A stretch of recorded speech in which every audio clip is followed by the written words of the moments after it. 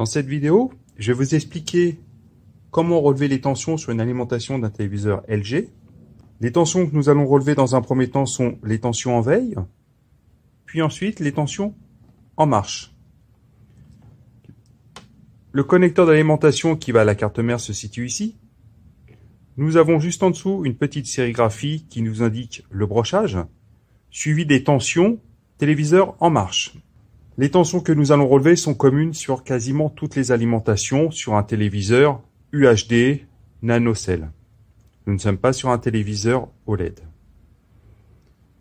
Tout d'abord, nous allons relever les tensions téléviseur en veille. Nous allons suivre le brochage qui est indiqué sur la sérigraphie. Vous allez pouvoir voir la numérotation de ces broches sont en quinconce. La première se situe ici. La seconde est en dessous. La troisième est au-dessus. On voit sur la sérigraphie la broche 1, la broche 2 sont des ground GND, ce sont des masses. Nous avons juste à côté sur la rangée du haut le power on. Nous avons encore une masse, puis nous avons le 13 volts.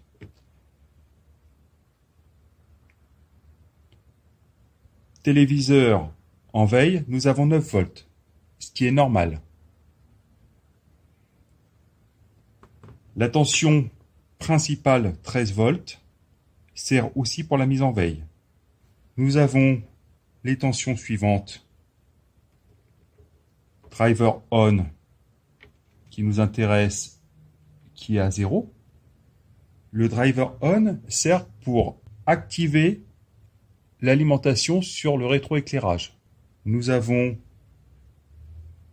deux pédimes une broche qui est en dessous, une autre broche qui se situe en patte 2 de la rangée du bas, ce qui est donc la patte 4. Le pédim va varier le rétroéclairage par rapport au contenu de l'image. Cette information est envoyée par la carte mère. Nous allons voir maintenant ce qui se passe sur la broche 3, qui est la deuxième broche de la rangée du haut. Nous allons allumer le téléviseur. Nous avons un 3 v 4. Ce 3 v 4 est envoyé par la carte mère à l'alimentation. Cette tension sort de veille l'alimentation. Celle-ci va ensuite nous délivrer à la place d'une 9 volts une tension de 13 volts 3. Nous allons avoir la présence du driver on du 3 v 3 qui va nous indiquer la mise en marche du rétroéclairage. Si je coupe le téléviseur, le 3 v 3 se coupe. Le rétroéclairage s'arrête. Si vous avez du son, mais que vous n'avez pas d'image, pas de rétroéclairage, il faut vérifier la présence du 3 v 3. Le 3 v 3 sur le driver on est envoyé par la carte mère.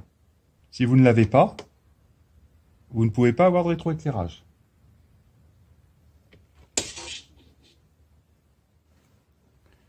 Nous allons maintenant contrôler si votre téléviseur ne s'allume pas, que vous n'avez pas de voyant de veille. Dans ces cas-là, vous débranchez l'alimentation. Ensuite, vous débranchez ce connecteur qui relie la lime à la main.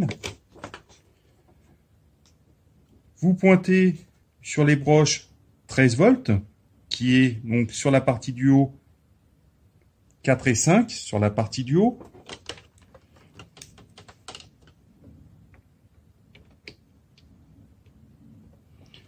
On branche l'alimentation, on contrôle. Nous avons entre 10 et 11 volts. Connecteur connecté, on descend à 9 volts, ce qui est normal. Si vous avez 0 volt, connecteur débranché, votre alimentation est en panne. Il suffit de la changer. Si vous avez la tension présente et que la tension s'écroule au moment où vous rebranchez cette broche, vous avez un défaut sur la carte mère. Vous avez aussi sur l'alimentation ces deux nappes qui vont sur les barres de LED. Vous avez deux nappes puisqu'on est sur une dalle qui est divisée en deux zones.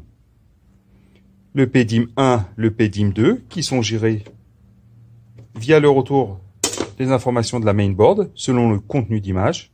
Vous savez maintenant à quoi correspondent les tensions qu'on relève sur l'alimentation.